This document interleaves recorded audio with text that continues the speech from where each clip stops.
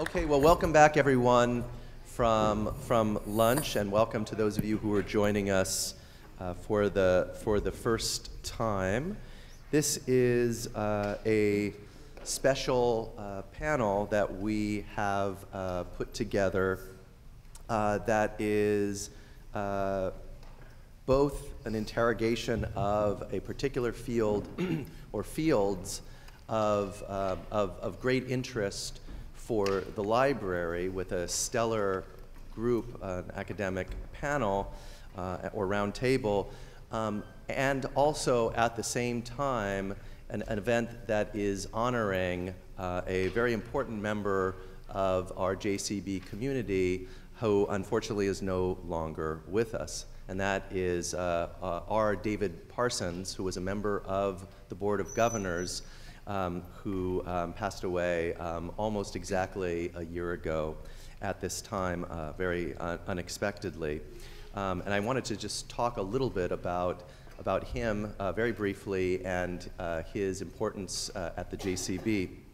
Um, David Parsons had an extraordinary career uh, in books as a bibliophile, uh, especially extraordinary since it began very late in his life. Uh, he essentially wandered into an antiquarian book fair was captivated by this uh, underworld that he encountered there and began immediately uh, uh, starting his own collection of books, initially uh, related to Pacific exploration. And then, like any great collector, decided that his passion uh, was moving in a different direction, sold that entire collection, and then began to, uh, to focus on another topic which was very dear and relevant to the JCB, which is the earliest, uh, the earliest narratives, the earliest discoveries, uh, the earliest encounters, to use a, a, term coined by Matthew Restall earlier this, today in his TED Talk. And, um, and uh, came, uh, when I arrived at the library, David Parsons was a member of the executive committee of the Board of Governors.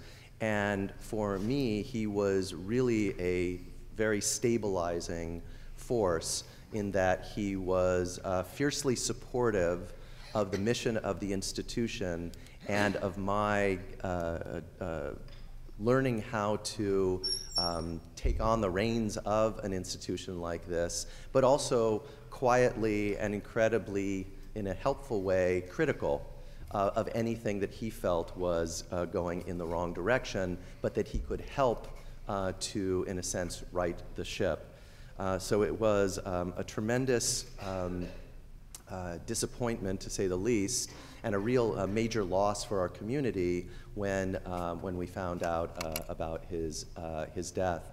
Um, uh, at the uh, service uh, that was held in Atlanta last, last year, I had the fortune of meeting Nick Parsons, who is David's son and here with us today. Um, it's really wonderful to have you here uh, to be able to see all of the different worlds uh, that, your, that your father was supportive of. Of course, as you know, uh, David Parsons endowed a very important long-term fellowship. as I mentioned to Nick, uh, last night, he uh, gave of that without restrictions to his own areas of interest, but really this, and this was the kind of person that he was. He said, we'll let you decide what it is that, uh, who the best candidates are. Um, but he did have this very in, keen interest in the earliest moments of exploration, Columbus, Vespucci, uh, and the like. so the, the, the, the round table that we've put together in his honor reflects this early interest in discovery and exploration with a, one of the dynamic fields that is taking shape uh, and that has taken shape for a long time around the library, which is indigenous history and indigenous uh, native uh, historiography. I think that this kind of fusion between these two different kinds of fields would be exactly the, the kind of uh, moment that David, were he with us, uh, would be extremely excited about. So I can only think that, um, that this moment uh, is transmitted somewhere beyond uh, in some way. I'll uh, just uh, say that David Boruchoff and David Tavárez uh, took on the task of organizing this panel and, in a sense, bringing together a really amazing group, which includes Scott Stevens of Syracuse University, Elizabeth Dillon from Northeastern, Nancy Van Deusen from Queen's University, and Mark Christensen from Assumption College. I'm going to turn things over to David, David and David, or David and David, or David and David, um, in honor of David. Um, and thank you very much.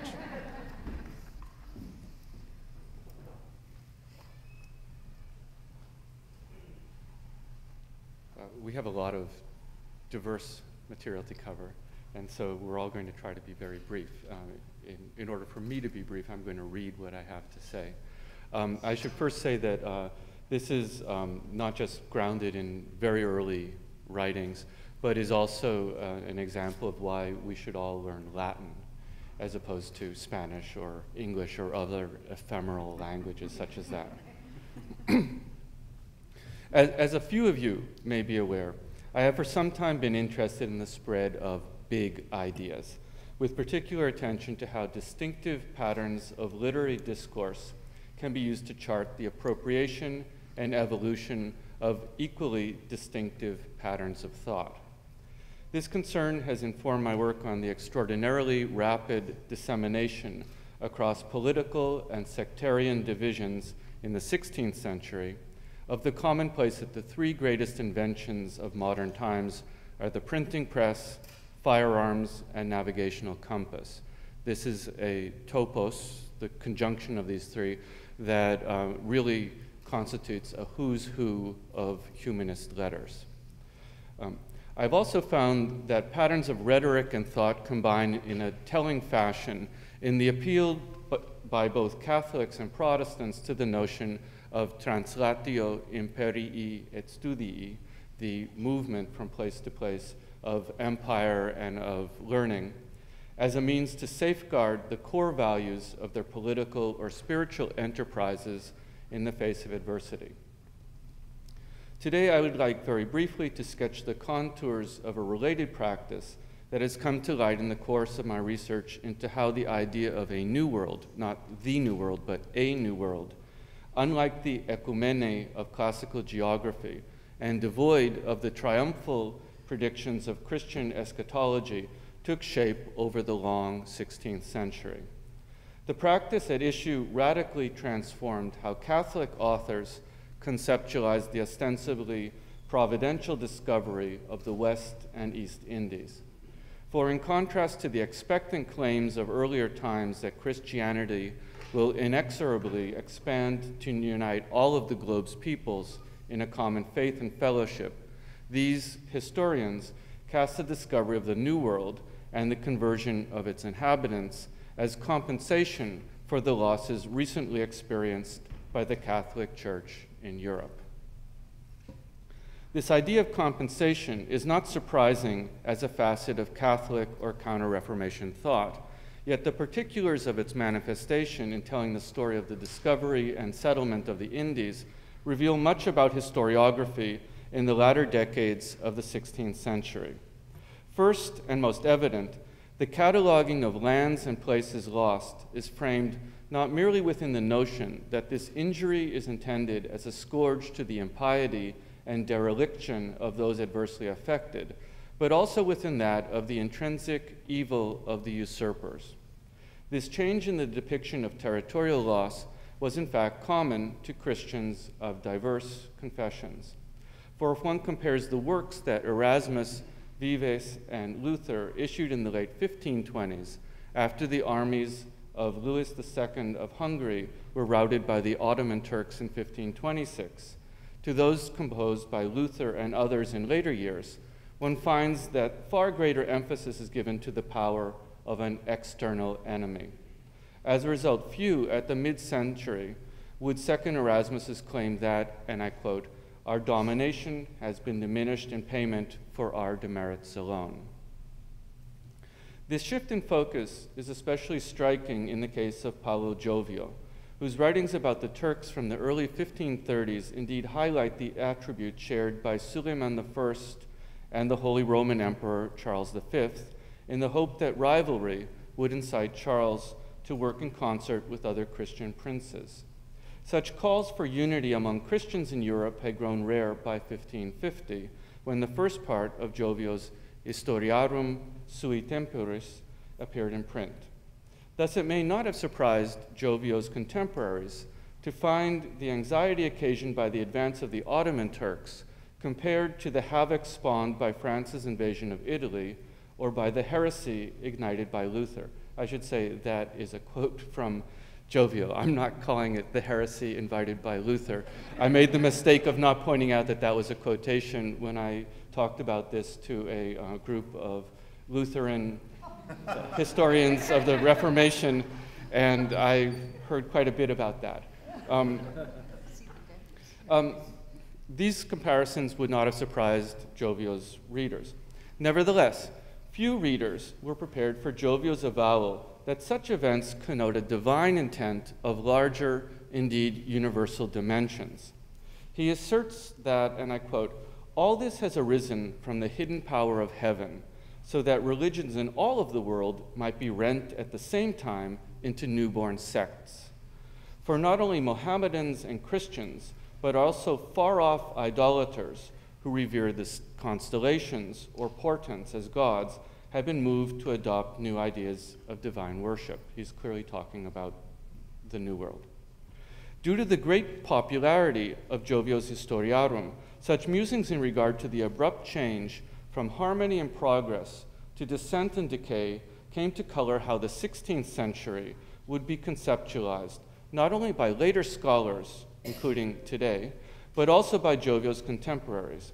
Indeed, without Giovio, it is hard to understand the poignancy and timeliness of similarly popular works by Louis Leroy, George Hakewill, and others about the ebb and flow of civilization.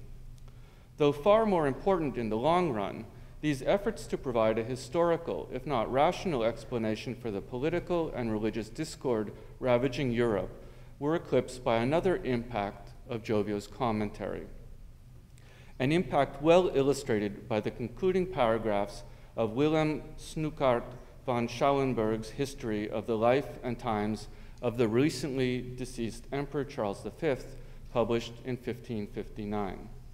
More a series of vignettes or miscellanea than a coherent account, this work ends with two brief entries titled The Causes of New Sects and The Effects of, Lutheran, of Lutheranism both of which depict the dissension and contradiction that, in Snoeckart's words, arise, quote, from the shattering of mutual belief.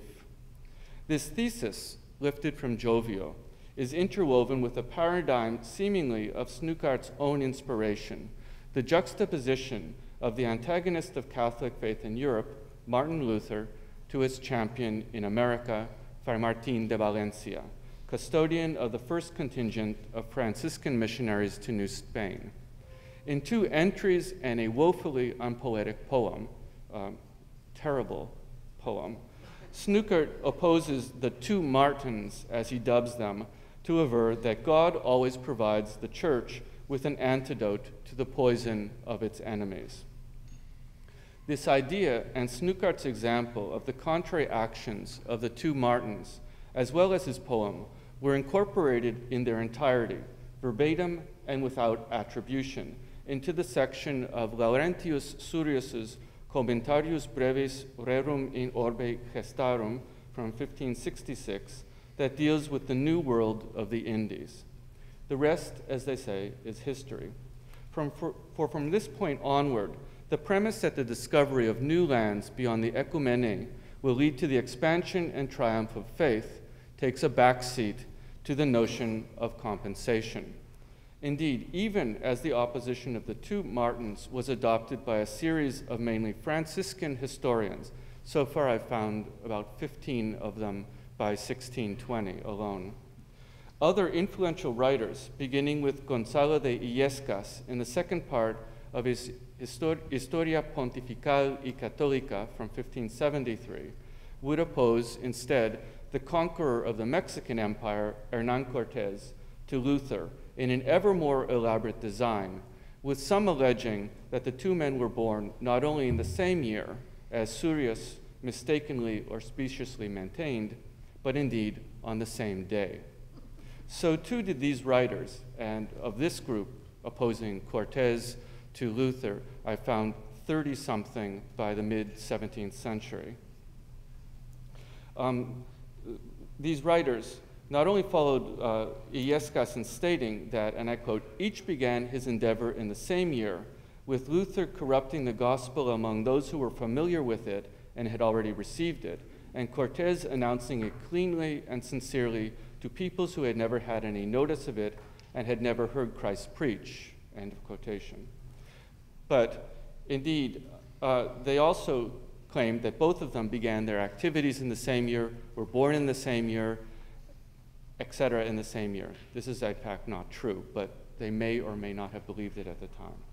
Still, other authors, mainly of the Jesuit order, would set the deeds of their founder, Ignatius of Loyola, against those of Luther in a similar fashion, especially in citing the value of the Jesuit missions to Asia. In that group, I found about a dozen by the mid 17th century.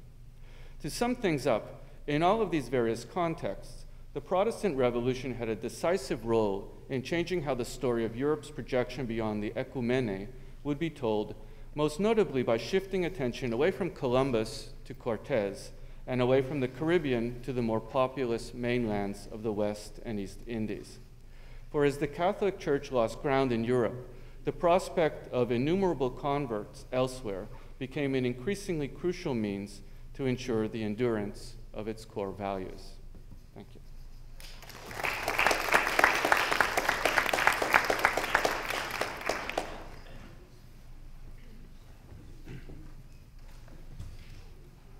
Well, thank you both to David and David. That was uh, there's a lot of good segues into to what I'm going to be speaking uh, speaking about right now.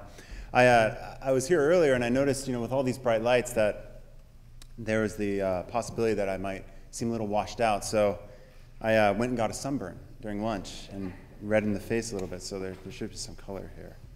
But um, what I'm going to be doing here is I'm going to be in the next eight minutes discussing uh, some of the major trends in the historiography regarding uh, conquest and contact, both uh, spiritual and physical. Admittedly, David will, will, focus more on the spiritual here right after, right after I, I, I sit down. Um, it's a, uh, we're going to enter the realm of uh, generalities a little bit, but hopefully it will make a cohesive narrative at the end. Scholarship in recent years re examining the Spanish conquest has challenged traditional Eurocentric the Eurocentric narrative that prominently portrays the victorious acts of Spaniards in conquering and settling the Americas. And a lot of the kind of the big name books that are coming out, we're looking at, you know, William Prescott with his History of the Conquest of Mexico and Peru, and you have uh, Robert Chamberlain's account in 1948 regarding the Yucatan, and then uh, Robert Ricard's Spiritual Conquest in 1933. And all these books, uh, they really kind of plant very firmly in the ground many of the assumptions that still exist predominantly throughout, you know, general American culture. And when you turn on, you know, the, the History Channel, I don't know, uh, account of the conquest of the Aztecs or something like that, you'll, you'll see all of these things played out. Uh, they're basing a lot of their views on Spanish sources, uh, the conquistadors and also the, the, early friars that were here. And we have to understand is that these early sources were written with purpose, with, the, with meaning, with uh, the intent of hopefully gaining favor with the king and others back in Spain for uh, titles of nobility, uh, you know, coat of arms, and so things had to be exaggerated a bit. Things, people had to be left out. The contributions of, of natives and others had to be downplayed a little bit more. And what you have is a very uh, is this great, great kind of narrative of Herculean efforts, even, even among the Franciscans. Uh, at the time they're writing a lot of these letters back by the mid 16th century, the, the threat of secularization, of, of secular priests coming in and taking over uh, their, their field is, is very real. And so they need to write back and convince the king that what they had been doing here in, in Mexico and Yucatan was worthwhile, that they need to stay here, and this is going to, you know, attribute to uh, exaggerated accounts. At any rate, this is kind of the basic of the, of the historiography, where we begin. More critical reading of sources and the inclusion of native documents has complicated, expanded, and problem, problematized the customary native narrative to make room for others' actors and outcomes. Natives, blacks, and women began to appear to claim participation and even ownership of the conquest, both physical and spiritual, to challenge its finality and success, and to debunk many of its myths.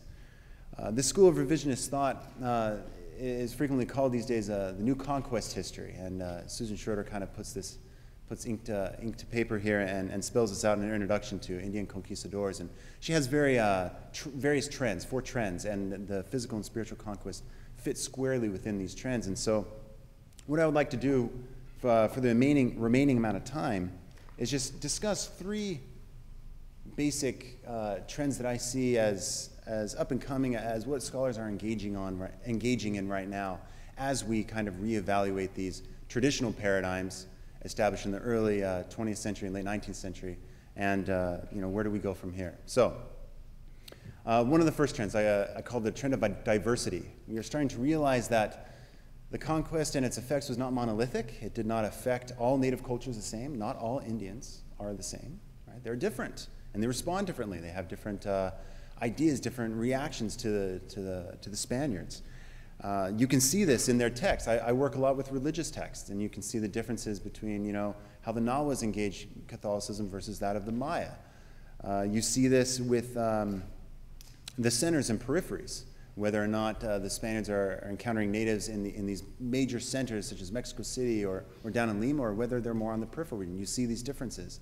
Uh, between nobles and, and commoners, uh, all these differences really kind of add variety and diversity to the very traditional monolithic uh, account. So that's the first one. Uh, the second one would be creative continuity. And it may not be the best way, even as I say it. I think I should probably reword that a little bit, but anyway, we're working with it right now. Uh, continuity on, on, two different phases. One, things taking from Europe and continuing here in the New World. Um, you see, for example, various devotional texts that have been around since the Middle Ages in Europe. You see them popping up in Maya texts and Nahua texts but they're obviously not the same. They've been uh, redacted a bit, they've been edited a bit. The Nahuas and Mayas have emphasized parts that they like and taken out parts that they don't, maybe added a few things along the way. So you see a continuity with what you have going on in Europe in among the Nahuas and Mayas, but also at the same time, there's uh, aspects of the Nahua and Maya culture that are also continuing. Um, you see this with mundane texts as well, the way they structure their last will and testaments. You see this in social structures the traditional uh, Spanish cabildo being, taking on new phases within the Nahua Maya communities. You see this within collective memory, which is how the past is recreated time and time again according to the needs of a specific town or, or, or culture. And um, this is uh, played out within, with various lienzos, various genealogies, and how you view uh, the conquest or contact uh, it depends. It, it, completely changes as you need it to change, whether or not your town needs to engage with it more, whether or not it's going to be a non event or whatever it may be. And you see this constant uh, changing, this flux. And the whole so what of this whole thing, this, uh, this uh, creative continuity, is to kind of challenge a term that has been around, very popular in the 70s and 80s, as um, syncretism. Right? We, we talk about this a lot when we look at you know, kind of a hybrid European and, and native culture. We put them together and it's, it's syncretism. Right? But it challenges the effectiveness of this word because uh, what we're realizing more and more, and what the new scholarship is continually engaging, is that it's a more fluid, uh, mercurial engagement and negotiation that completely changes uh, within generation to generation and depending on where you are. Uh, very similar to our own lives and the way that we engage various things is constantly changing depending on our needs and our necessity. And so that would be, uh, that would be the second one, the creative continuity. We can go on and on about that, but I need to get to my third. The third is, uh, is just reconsidering and rethinking traditional paradigms. We saw a great example of this already with uh, Matthew Restall's present his talk, right? Um, how the, the traditional meeting between uh, Montezuma and Cortez is all wrong. And it was a great cliffhanger, and everyone could go ask him afterwards why that is, right? But uh, we're rethinking what we assume to be and hold to be true for so long, and, and we're re examining it. Um, recently, I was at a I was at a conference and I was talking to a, uh, another Maya scholar, uh, colonial Maya scholar, um, John Chuchiak, and he's re-examining the population decline in Yucatan. For so many years, we always attribute it to disease. Right? The disease came in, wiped everyone out, and that's why the numbers go down so quickly. But he's doing this great research on um, the Indian slave trade, and he's realizing that there's, it's, it's much more impactful on the population that we have hitherto realized, and all of these natives going into the, uh, the Caribbean, Caribbean slave markets. And so just a couple of examples like this of, of re kind of uh, reshifting this paradigm, or traditional paradigms, and including new actors, and uh, I don't know, maybe getting us to rethink about things a little bit differently. And so, uh, just to wrap up, I don't want this to be a, a, type of idea where we look at Prescott and Ricard and you know, and Chamberlain, we come down hard, and they were so wrong, and we are so right, and look how, look how astute we are, and look how much we've learned since then. I like to vision, I like to see it much, um, very similar to eyesight. Right? I, I, have bad eyes, I wear contacts, I have to go in and get my prescription updated every now and again. And these lenses, we look at the past through these lenses, and it changes as you update your prescription. And so we can kind of see this in the historiography. And uh, I look forward to, in the future, to see what kind of prescription has been updated and what kind of new lens we look at the past and the new things that we can learn. Thank you.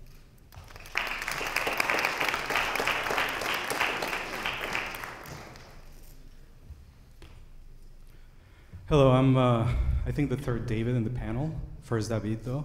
Um, and today I'm going to talk about the spiritual conquest, military, uh, and historical silences in colonial Mexico. So, um, by addressing historical silences, what I wish to do is to complicate a linear progression from old to new that accentuates the positive, Used to talk about that line from the Andrews Sisters song. Uh, because what I want to do is actually think about how historical silences shape um, a, uh, how we think about the past. Uh, in doing so, I'm also going to acknowledge the importance of sources preserved at the JCB. The foundation for Robert Ricard's powerful but misguided metaphor about a spiritual conquest of Mexico in his 1933 book is laid out by several Franciscan letters from 1531. These letters were preserved in a Flemish chronicle, uh, Van Zierik's Chronica Compendiosissima. This is my first shout out to the JCB, so at the JCB you can read it there. Um, and uh, in these letters, uh, Bishop Juan de Zumarraga boasted of having baptized 250,000 natives, while the Franciscan leader Martin de Valencia, the same evil Martin that uh, uh, David was just talking about, uh, reported the baptism of more than 1 million natives. Now, this story of multitudinous conversions was picked up by chroniclers such as Duran, Mendieta, Motolinia, and all of this informed a 1615 estimate of 6 million. Now we're at 6 million converts by Juan de Torquemada, uh, another Franciscan. So these claims became, of course, a matter of contention for uh, Dominicans and other opponents of the Franciscans.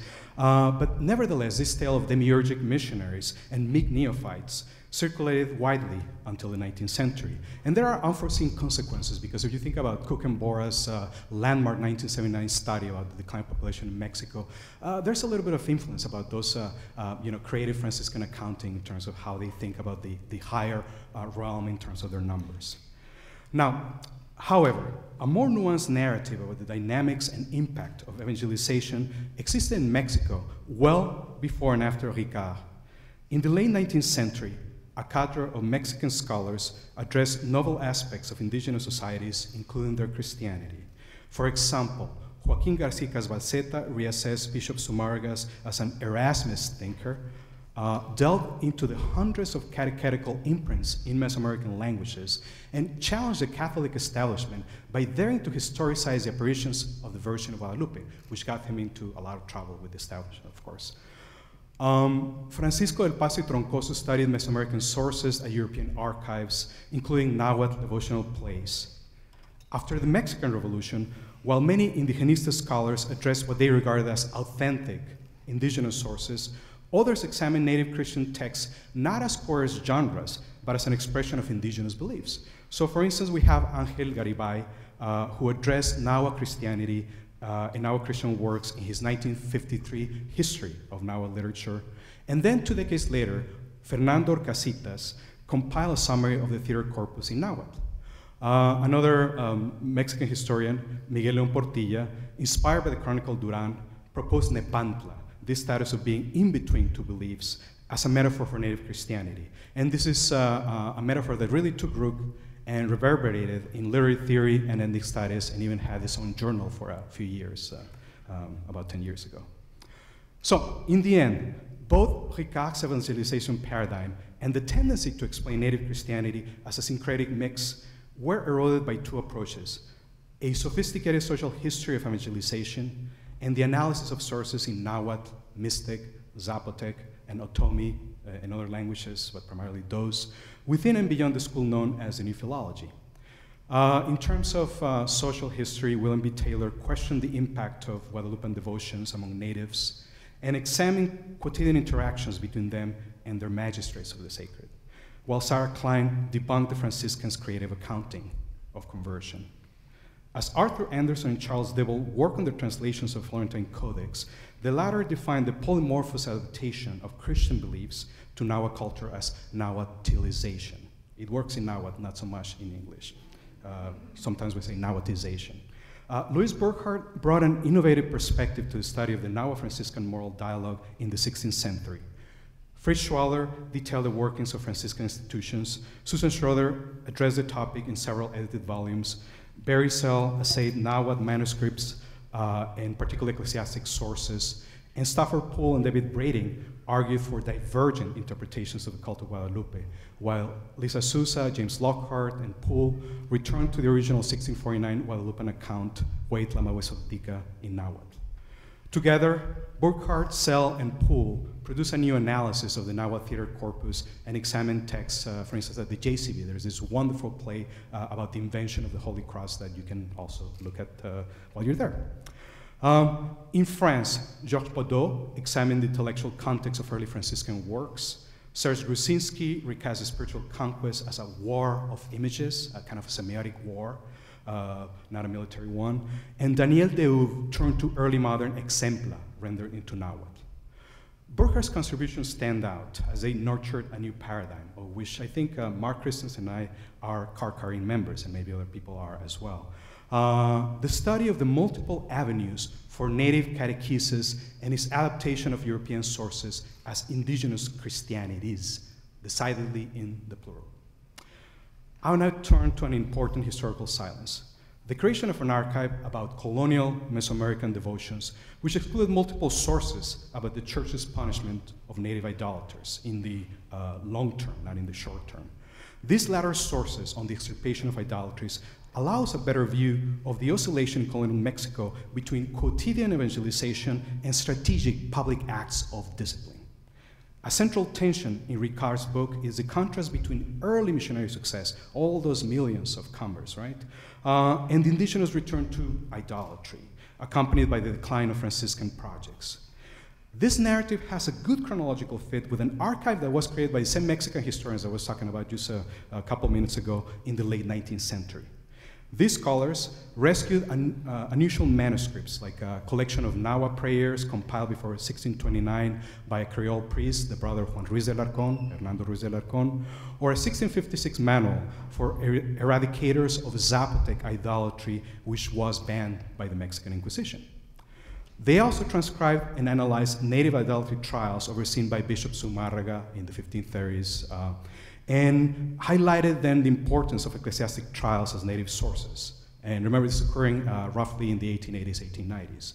These newly created archives supported the notion that after Zumarraga's idolatry trials of 1536 to 1540, there were few indigenous relapses into idolatry, such as those exemplified by the 1629 and 1656 texts.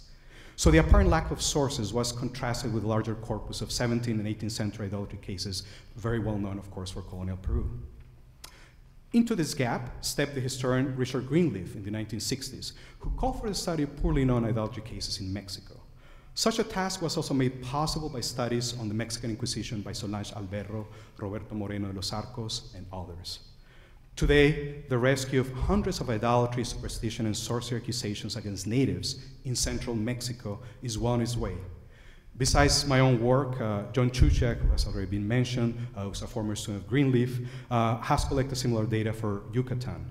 Yana Yannakakis and Tomas Calvo studied the repercussions of these trials in Oaxaca. And Gerardo Lara Cisneros recently analyzed the provisorate of Indians in the Archbishopric of Mexico in the 18th century.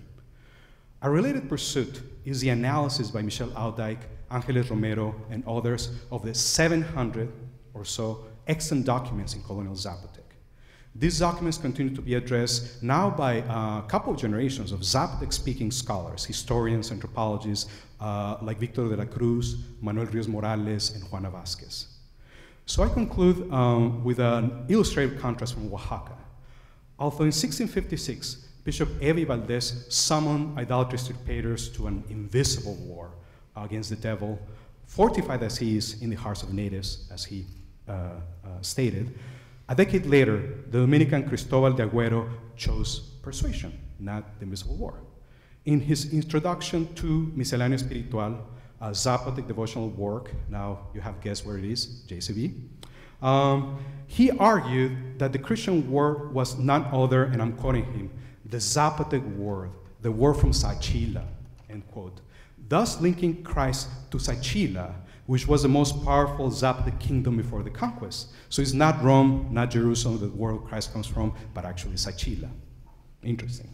In the end, this tension between violence and persuasion seems a central feature of evangelization in central Mexico, and we are left with many shades of gray, ranging from outright violence to the highly selective appropriation of indigenous words and practices. Thank you.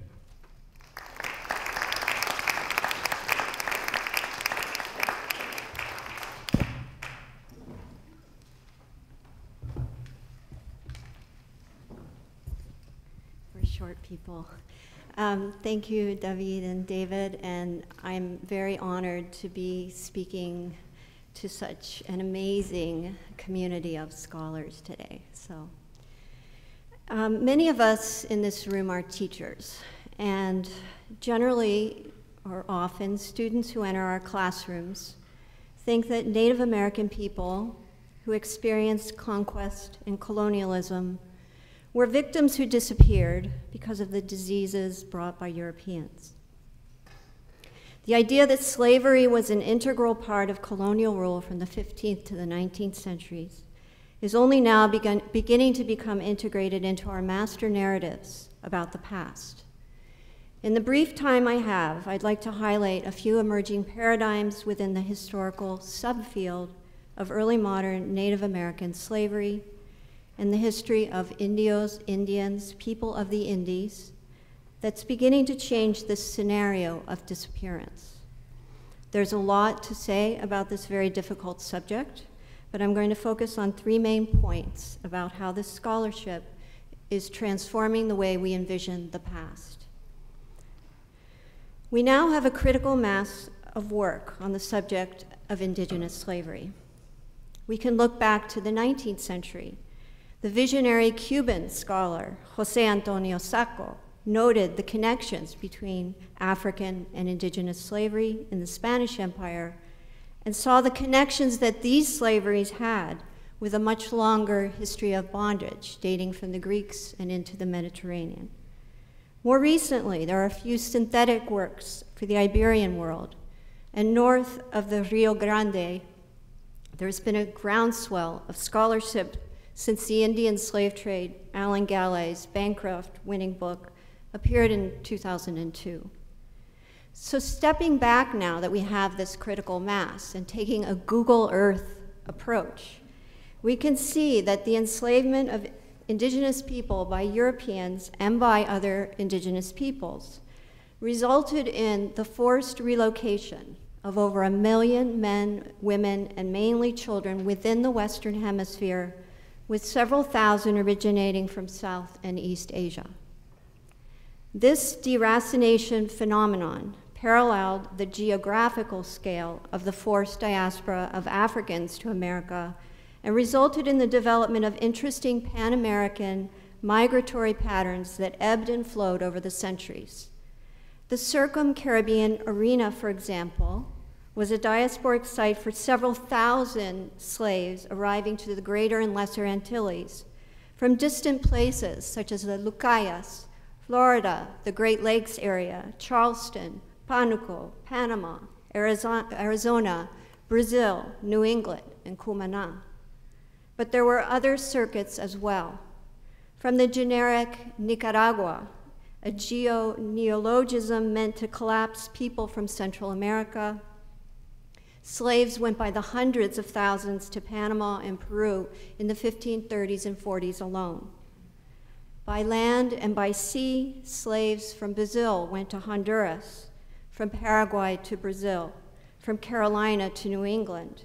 Thousands went to Lisbon, Valencia, or Seville, from Chile to Peru, from Goa to Peru, or from Manila to Mexico City.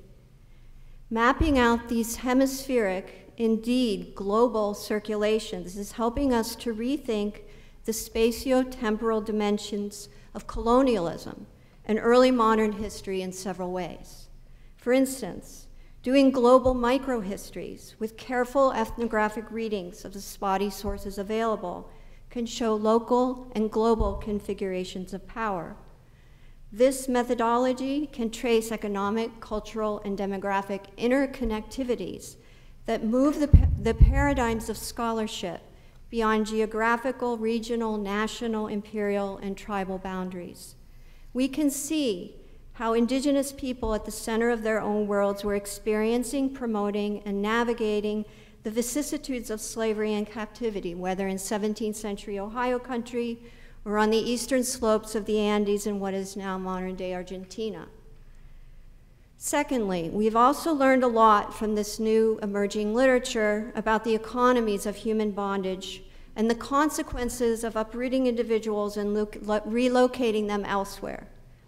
Whether we think of this mobility in terms of the cultural and demographic costs that forced removal had on local nations, how creative responses of flight into new territories created new tensions, as well as communities of possibilities of community formation, or how the commodification of captives in so-called colonial outposts or frontiers only expanded slave raids or wars elsewhere fueling new and violent rivalries, even an arms race. The taking of captives also served as a tool of diplomacy, as European and indigenous slaves were exchanged or rescatado, as Catherine Burns so beautifully showed us earlier today. Many Indian polities, the Chiriguanos, the Guarani, the Araucanians, the Apaches, Comanche, Chichimecas, remain powerful despite and because of these economies of slavery. Another consequence of seeing these broader connections is that scholars are beginning to move away from the model of core periphery. So, so called outposts or frontiers and their inhabitants, including slaves, were not exceptional outliers as colonial narratives generally convey. They were linked, integrally linked, to core urban economies and to sectors like mining and agriculture. Indigenous slaves deracinated from their homelands were also a small percentage of the domestic labor force in cities like Charleston, Lima, Bogota, Santa Fe, Quito, and Asuncion. They complemented the labor of enslaved Africans. Moreover, recent studies on slavery have shown how particular European ontologies, the basic categories of being and their historicities, differentiated indigenous peoples in key arenas of conflict as amigos, enemigos, barbarous, cannibalistic, or as invented macro ethnicities upon whom it was legal to make just war and enslave. Maps and mapping projects also created geographic spaces inhabited by barbarous and infidel, read enslavable people. But perhaps most importantly, mobile indigenous slaves did not die or disappear, as uh, the treatises of Las Casas would like us to believe. They formed families with new kinds of people in Lima, Peru, or Parral, Mexico, wherever we can find them in the colonial parish records. Finally, in the case of the Spanish legal framework, we can now move the indigenous struggle for justice from, away from iconic figures like Bartolome de las Casas and into the courts, where slave litigants living in the heart of the empire, Castile, helped shape the meaning of Indio in a global context. I'd like to end this sweeping summary of how new approaches toward indigenous slavery are changing the way we think of the early modern historical landscape with a question I've spent my fellowship year at the JCB trying to answer.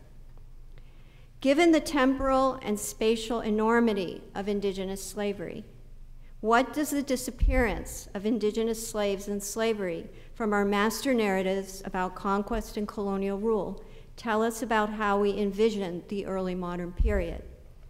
How has the victimization of Native peoples from disease and so called destruction created an erasure of the past and silence in the archives?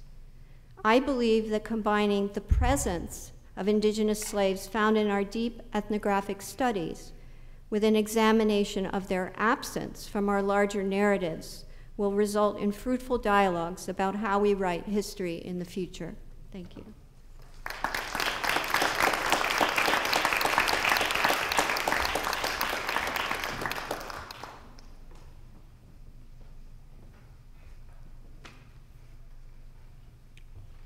Sego Skanagoa, that is a traditional Mohawk greeting, means, is it still a great peace with you? Obviously, we mostly said it to each other. Um, but it is my mother's people, and I'm a citizen of the Akwesasne Mohawk Nation. But as a citizen who also has a Welsh American father, I could say that I am preoccupied with the encounter almost in a Freudian sense. Um, it has been at the center of my studies all my adult life.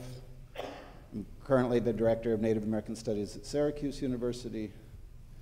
And I want to talk about these in the, some trends that hopefully will give us some speaking points after we're done presenting. And I'm going to do so fairly informally but hopefully with some concision that will lead us to where I think we are to an extent. One of the main issues, and I kept thinking about this during Matthew Restall's very interesting talk earlier today.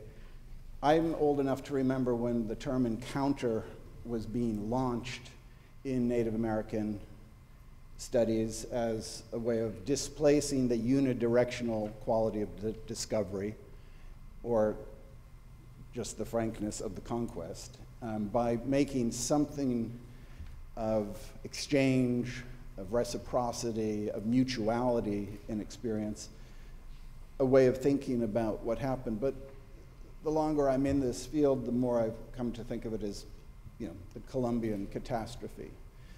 Because for millions, as we keep hearing, of native peoples, it was nothing short of a catastrophe. And I read with interest the very chilling um, notions around the debate of the Anthropocene, if you know this term. This has um, been recently debated, especially among climate change scientists, um, as a new name for the Holocene or the contemporary geologic time period we live in. So if we think back to the Cenozoic and the Mesozoic, and the proposal that there be an Anthropocene, that is a time for the history of the earth where humanity, anthros in Greek, is placed at the center because humanity is having an impact on this. And there's been, of course, like with any periodization, considerable discussion as to when does it start? And you know, people have talked about the nuclear age, the industrial revolution. You know, these are the type of things you can find measurably in ice sediment in the Arctic and so on. But the one that caught my interest more recently was the proposal that it starts around between 1500 and 1600 because of the evidential, evidentiary um, findings of the huge loss of human populations in that period, which must be the decimation of the New World. So to think that the atmosphere changes in terms of measurable qualities in ice because of the depopulation of millions of people. That's a chilling reality of, of where we are when we're thinking about the impact of the so called encounter.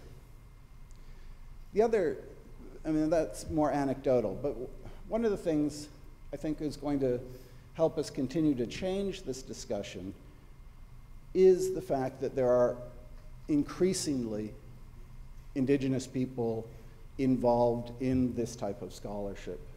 And that it's no longer, history has been for so long a one sided conversation. Right?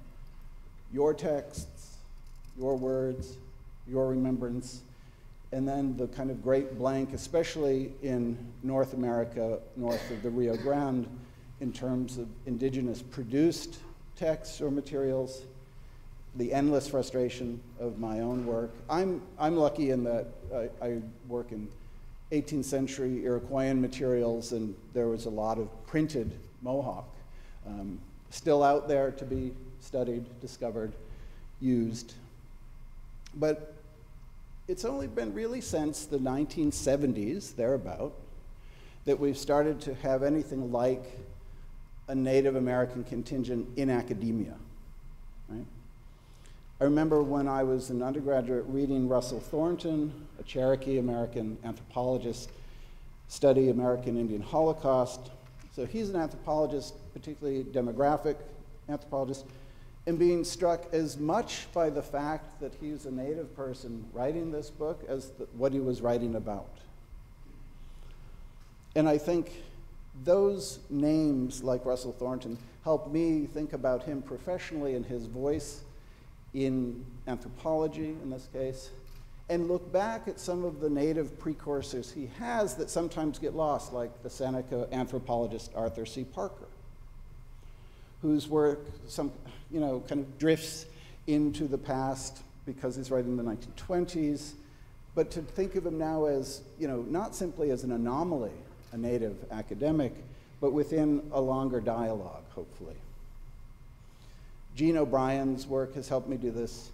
If you know her, uh, White Earth Ojibwa scholar, professor at Minneapolis, University of Minnesota in Twin Cities, and her works, like her dispossession by degrees or firsting and lasting, which mostly are studies of New England, native populations in the 17th and 18th centuries, are just an amazing intervention when I'm teaching them to native students that I have in particular at Syracuse.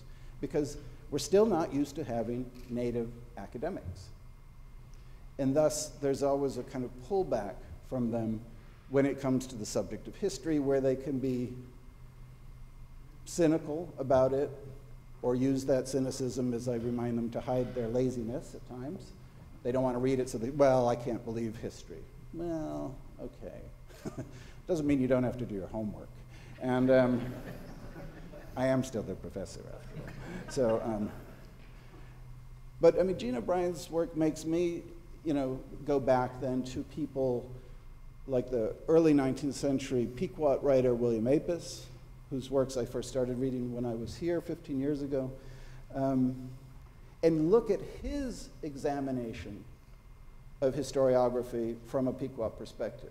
Right? He's reading Anglo historians, but it can produce his famous eulogy on King Philip or Metacomet and make that startling statement at the beginning of that text that he is our George Washington to a, to a you know, pretty shocked audience in the Boston Odeon um, in 1832.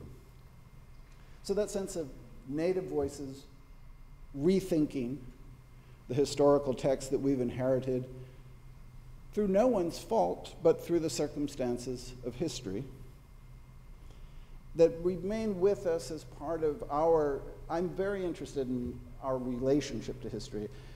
Before I came to Syracuse, I was the director of the uh, McNickle Center at the Newberry Library in Chicago. And I remember being asked by a group of concerned teachers to review with them the state standards for history in the state of Illinois and found that there was not one, not one question in the American history exam about American Indians. It was Indian free history of America. And the explanation, they said, well, there's no formal teaching about Native America after fifth grade. Shocking, you know, just shocking.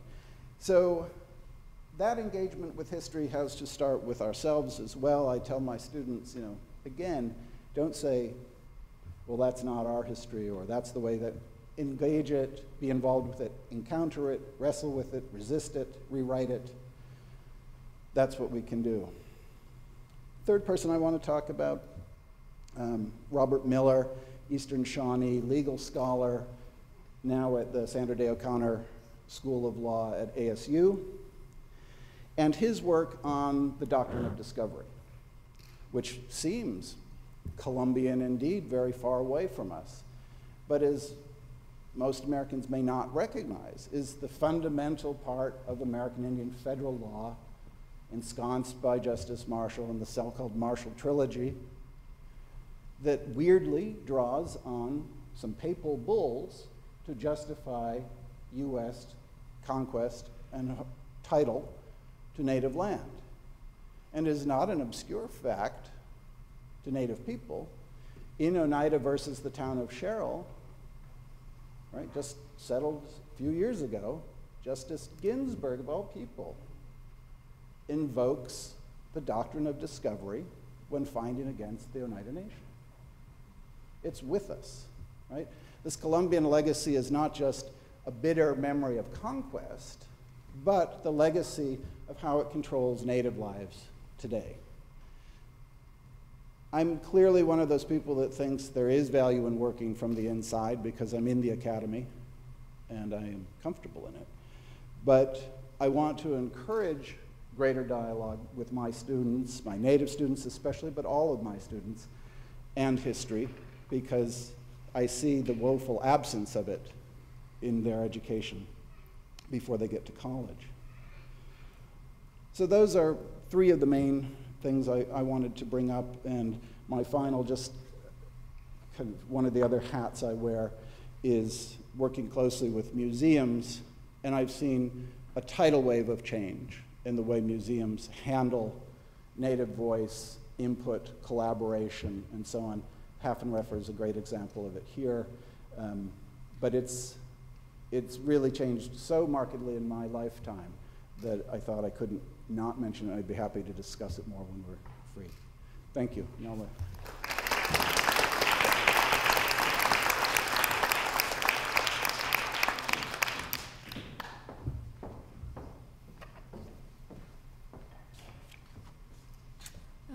Thank you, David and uh, David. It's a, it's a pleasure to be here back at the JCB. Um, I realize I'm uh, batting cleanup here, so uh, I will be brief. Um, in my brief remarks today, I want to talk about a body of critical theory concerning indigenous peoples and politics known as settler colonialism. This is a critical field of relatively recent vintage, but it's one that has significantly reshaped and energized the field of Native American studies particularly among Native American scholars. It is, however, a field that has received almost no attention among early American historians. In other words, there's something of a non conversation taking place between the work of historians of early America, even those working in the area of Native American studies, and a burgeoning new critical field that has a very high profile in American studies and among Native American scholars. So, my aim today is to talk a little bit about the genealogy of this field and to point towards some of its key claims and significant work in that area, and to reflect a little bit on why settler colonial studies might be valuable to the work of researchers at the JCB. The genealogy of the field of settler colonial studies is importantly not based in the Americas, but in Australia, and is related as much to anthropology as to history, as well as to a politics of social justice related to indigenous land claims and debates over sovereignty. The Settler Colonial Studies Journal, which is now published by Taylor and Francis, was founded in 2011. Um, the fact that it's a field that has its own journal published by Taylor and Francis again gives you a sense of the, um, um, you know, the, the, the, substance and existence of this field. Um, it was founded by Edward Cavanagh, who's a South African scholar, and Lorenzo Veracini, who's located in Australia and they define settler colonialism as follows uh, quote, Settler colonialism is a global and transnational phenomenon, and as much a thing of the past as a thing of the present. There is no such thing as neo settler colonialism or post settler colonialism because settler colonialism is a resilient formation that rarely ends. Not all migrants are settlers. As Patrick Wolfe has noted, settlers come to stay. They are founders of political orders who carry with them a distinct sovereign capacity. And settler colonialism is not colonialism. Settlers want indigenous people to vanish, but, but can make use of their labor before they are made to disappear. Sometimes settler colonial forms operate within colonial ones, sometimes they subvert them, sometimes they replace them. But even if colonialism and settler colonialism interpenetrate and overlap, they remain separate as they co-define each other, end quote. So there are a number of points um, underscoring uh, uh, from this definition um, that I want to kind of tease out or point out to you. Um, first, colonialism and settler colonialism are not the same thing. As theorists of settler colonialism have argued, unlike colonials, settler colonials aim to settle, to stay, and in fact to claim indigeneity for themselves. So whereas colonialism is premised upon a, a, a continuing um, uh, relation of domination, uh, settler colonialism is, is based upon a logic of elimination. So, point two settler colonialism aims at elimination of indigenous peoples, although, as almost all Native American scholars who work in this field argue, the figure of the quote, vanishing Indian is called upon repeatedly to do quite a bit of cultural work, and as such does not so much vanish as appear repeatedly in the figure of vanishing and as a figure of the vanquished. And three, according to the definition um, uh, of uh, Veracini and Cavanagh, settler colonialism never ends. The suggestion here is that the project of settler colonialism is ongoing, and I think Scott's reference to um, recent Supreme Court decisions uh, makes that point nicely as well. The project of asserting sovereignty over the land of indigenous peoples continues from the Columbian period to the present. Uh, so, as a methodology, then, I want to ask uh, uh, to, to sort of point to two salient aspects of colonial studies that I think are important. And one we could think of as spatial, and a second we could think of as temporal. So, first, colonial studies are broadly comparative. This is the spatial point. Um, uh, colonial, settler colonial studies suggest affinities between Australia, New Zealand, the US, Canada, South America, South Africa, the Pacific, and the Middle East. So this comparative framework, this transnational framework, changes considerably, I think, the spatial imaginary of indigenous studies by placing them in this kind of transnational frame. And second, this is the temporal point, the field of settler colonial studies is one that's committed to tracing continuities between the Columbian era and the present, and thus to forging an ongoing project of decolonization in relationship to a history of settler colonialism. Uh, J. Kehaulani Kauanui, um, who is the author of Hawaiian Blood, Colonialism, and the Politics of Sovereignty and Indigeneity, which uh, was published by Duke University Press, Duke University Press in 2008. For instance, links the history of settler colonialism in Hawaii and current debates over land sovereignty in Hawaii to settler colonialism in Palestine.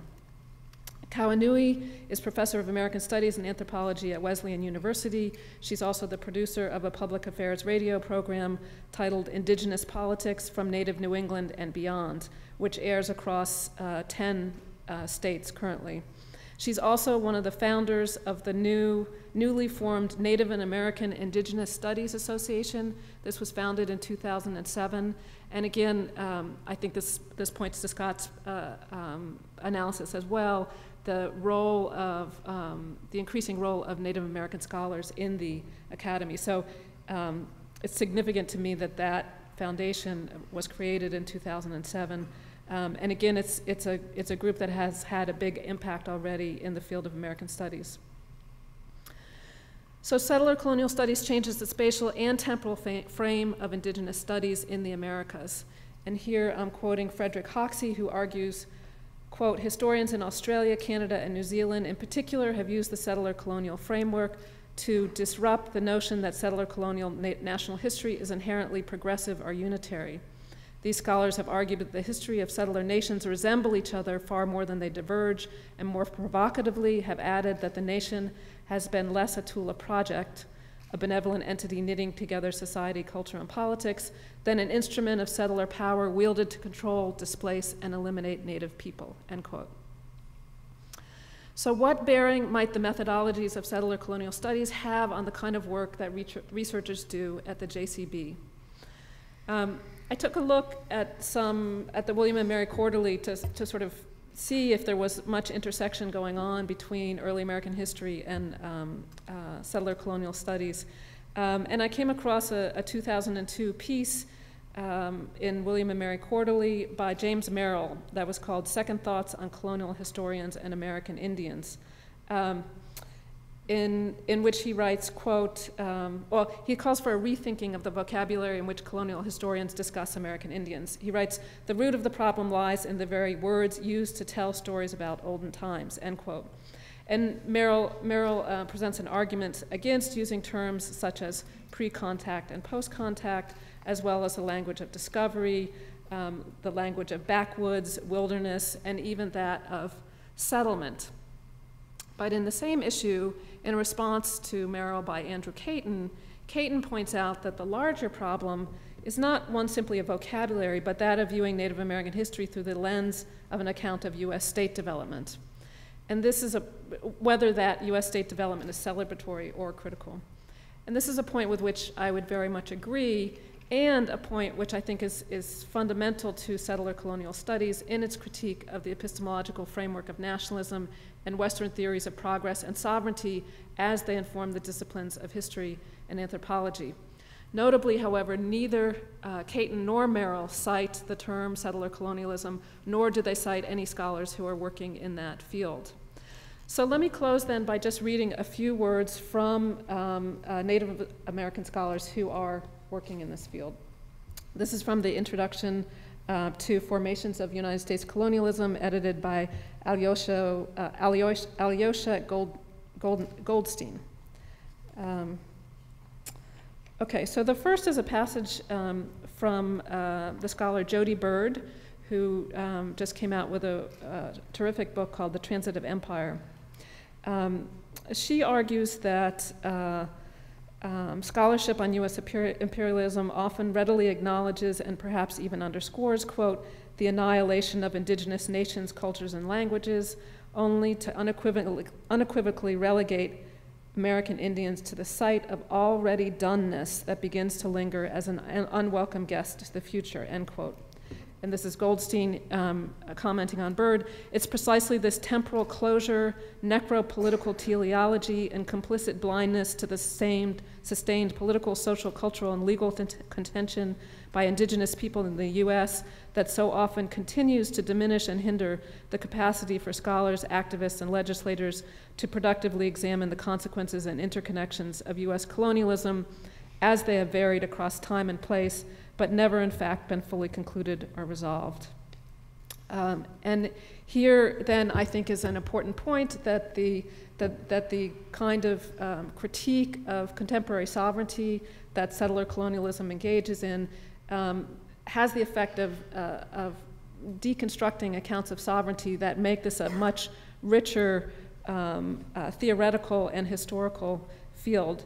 So this is Goldstein who writes, the overlapping, sedimented, and variable conditions and practices of colonization, um, uh, uh, and the specificity in the U.S. Um, sorry, are fundamental for understanding the complexity and specificity of the U.S. historically and in the present.